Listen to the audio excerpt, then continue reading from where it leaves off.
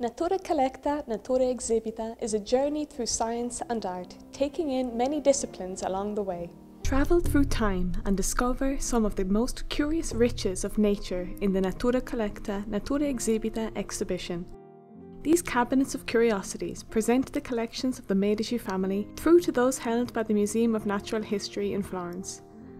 The location of the exhibition in the crypts of the Basilica of San Lorenzo has added significance as the Medici's treasures are located right beside the tomb of Cosimo the Elder.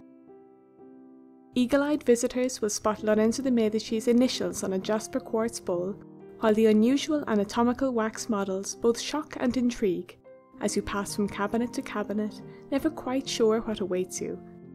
Objects come from as far as Indonesia and the Brazilian Amazon, as this journey of discovery takes in ethnology, zoology, botany, and many other disciplines in between, attracting the curiosity of all. Ci troviamo nella Basilica di San Lorenzo e l'iniziativa che vediamo è un'iniziativa che nasce dalla collaborazione del Sistema Museale d'Ateneo, in particolare del Museo di Storia Naturale, con la Basilica di San Lorenzo e l'Opera Medicea Laurenziana. Eh, queste istituzioni hanno in comune vari aspetti della loro storia che toccano temi, personaggi, luoghi, oggetti e pertanto abbiamo voluto valorizzare questo comune interesse attraverso un percorso espositivo che ripercorre le tappe della storia del collezionismo naturalistico, dalle origini fino ai nostri giorni.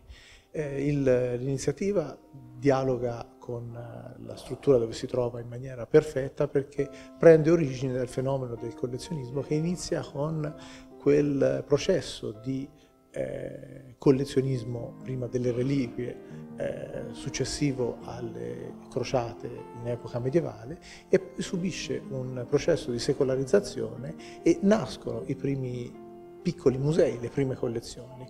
Il Rinascimento è il momento in cui questo fenomeno ha una tappa molto importante. Lorenzo de Medici è un grande collezionista, abbiamo esposto in questo percorso oggetti appartenuti a lui stesso.